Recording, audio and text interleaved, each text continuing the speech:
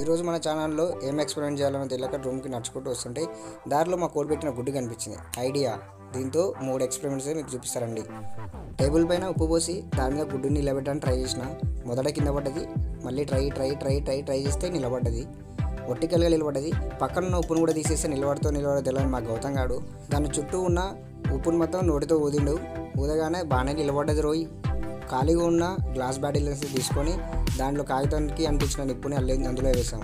వేసిన తర్వాత ఏమంటే గుడ్డుని దాని మీద పెట్టినాం. పెట్టంగానే అది కొంచెం లోపలికి అయితే వెళ్ళింది. చాలాసేపు చూసినాం. లోపలికి వెళ్ళట్లేదు. అట్లానే గుడ్డు తీయగానే సగం లోపలికి వెళ్ళింది. సగం గుడ్డుకి అంటుకునింది చూడండి మీరే. మూడు ఎక్స్పెరిమెంట్ అయితే చాలా క్రేజీగా వచ్చింది. మండుతున్న క్యాండిల్ పైన గుడ్డుని పెట్టి గిరాగిరా తిప్పి నల్లగా అయిందాక ఉంచినాం.